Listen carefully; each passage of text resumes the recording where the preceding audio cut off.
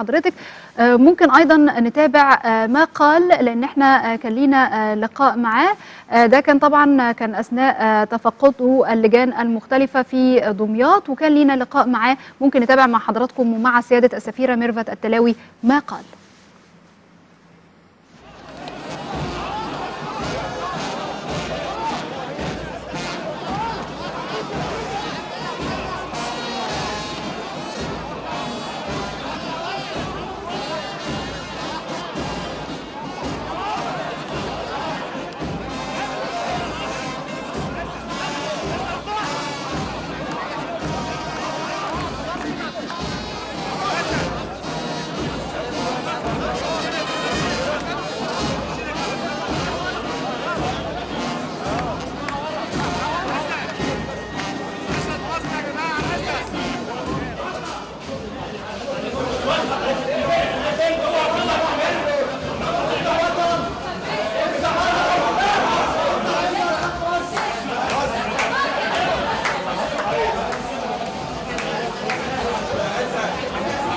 ما زلنا بنتابع مع حضراتكم مشاهدينا الآن صور خاصة لمصر الآن للجولة التفقدية واللي قام بيها سيادة اللواء أحمد وصفي قائد الجيش الثاني الميداني أثناء تفقده اللجان آه، لجان الاستفتاء آه، بدمياط.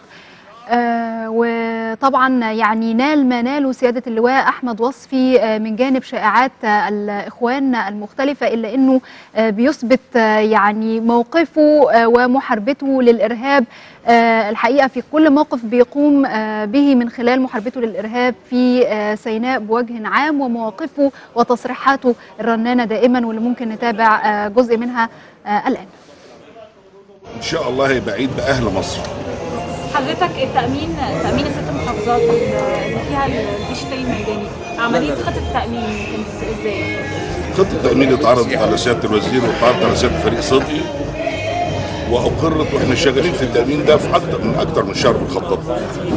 إن شاء الله التأمين هيبقى كامل متكامل هو كامل متكامل لأن إحنا ما بنعملش حاجة فيها قصور رئيس كمان في الاقبال النهارده على والله أنا نفسي ب 35 مليون و50 مليون كمان على مستوى الجمهورية. كلمه تقولوها لشعب مصر؟ أنتوا اللي هتوقفوا مصر على رجليها. أنتوا اللي هتحيوا مصر وهتعافوها من اللي هي فيه. محدش هيعافي مصر وهيوقف على رجليها غير شعبها. وأنا يتهيألي سيد فريق أول عبد الفتاح علي الكلام ده طب هل في أي مشاكل على مستوى أنتوا اللي تقولوا لو في أي مشاكل بلغونا ما حضرتك بتعرف؟ إحنا ما عندناش إن شاء الله مش هيبقى في أي مشاكل. والجيش مع الشرطة مع القضاء مع الجهات التنفيذية في المحافظات إحنا كلنا تيم ورك واحد.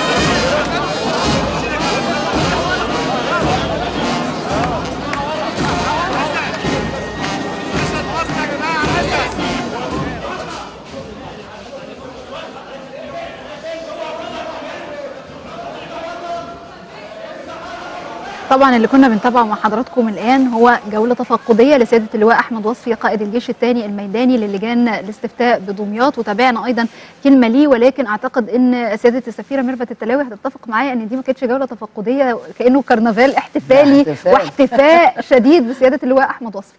صحيح. ده احتفال أنا حسيت كده زي ما يكون في باريد مثلا ماشيين نتفرج على مهرجان معين. لا أنا بقول لك الشعب خلاص أعلن النتيجة من نفسه. وإحنا كنا هل حضرتك بتعتقد إن الشعب المصري كان عايز يفرح؟ يعني إحنا بقالنا كتير قوي ما حسيناش إحساس الفرح صحيح. بغض النظر طبعا عن يوم 30 يونيو واللي كان يعني إحساسه مختلف بالنسبة لنا كلنا ولكن إحساس الفرح ما بعده وكأنه اختفى بسبب كتر الدم في الشارع المصري. إحنا فوتنا بثلاث سنين سيئة جدا الحقيقة. سواء فترة فيها دم أو فيها مناقشات. يعني الأهل ما بقتش تزور بعضها. الناس ما بقتش يعني ما عندهاش نفس تفرح. فما صدقنا آه إن الجيش وقف معانا والشرطة رجعت لأصلها تاني ولح- لدورها اله- الهام والحيوي في المجتمع. فإحنا فرحانين إن إحنا كلنا إيد واحدة. ودول جماعة بسيطة هنقدر عليهم وندعوهم إنهم يتعقلوا وكفاية كده. ويرجعوا لبلدهم وإن شاء الله هنبني مصر هنبنيها. وهتبقى تلعب دور عظيم في إقليمها. وهتلقن الآخرين دور مهم جدا لأن هي أفسدت على آخرين مؤامرة كبيرة.